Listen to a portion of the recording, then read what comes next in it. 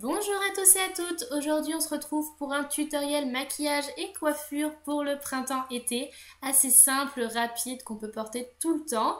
Donc je viens euh, prendre ma brosse qui vient de chez Claire's, donc toutes les références des produits seront en barre d'infos. Je coiffe mes cheveux parce qu'ils ont tendance à boucler et euh, du coup à faire pas mal de nœuds, donc je préfère les coiffer euh, avant de venir les sécher. Voilà, une fois que ça c'est fait, je viens délier mes cheveux, donc des racines jusqu'aux pointes. Je leur fais des espèces de, petits massages avec mes doigts pour que, euh, pour que ça fasse de jolies boucles en fait, tout simplement.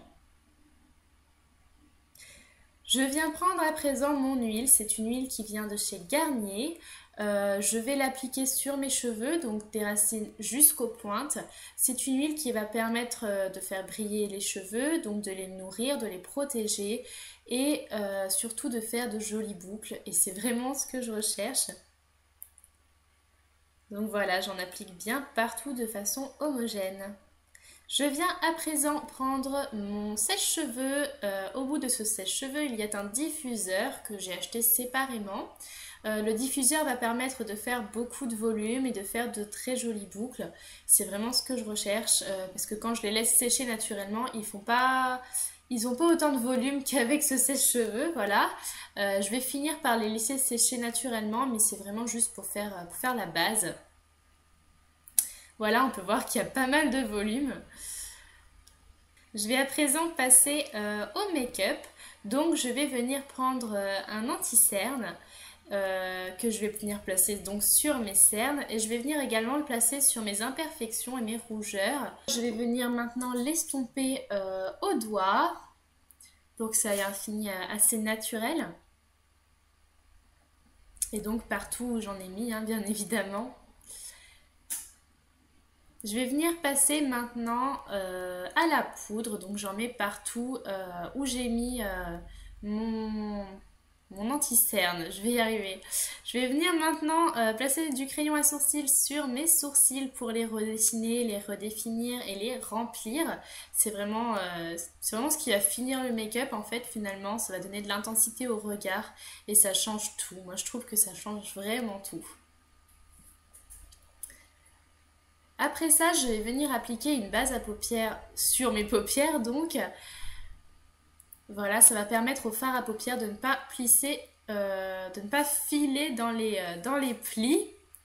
Euh, je viens à présent mettre du fard, fard beige sur, ma paupière. Donc n'importe quel, quel phare fera l'affaire du moment qu'il soit beige ou blanc cassé. Je viens l'appliquer avec un pinceau plat. Voilà sur mes deux paupières. Et je viens à présent appliquer du mascara et ce sera euh, la dernière étape pour mes yeux. Donc là c'est euh, un mascara de chez euh, Yves Rocher. il est vraiment super bien, donc il allonge bien les cils, il donne pas mal de volume. On en met sur les cils inférieurs et supérieurs. Voilà, je vais maintenant passer au rouge à lèvres. Donc là c'est un rouge à lèvres euh, rose, vraiment, euh, vraiment rose flash. Je viens appliquer du blush.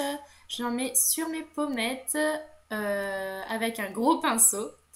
Et voilà, c'est déjà terminé. Voilà ce que ça donne.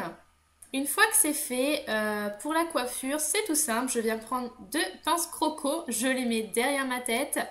Et voilà, c'est déjà terminé. je laisse passer ma petite mèche devant.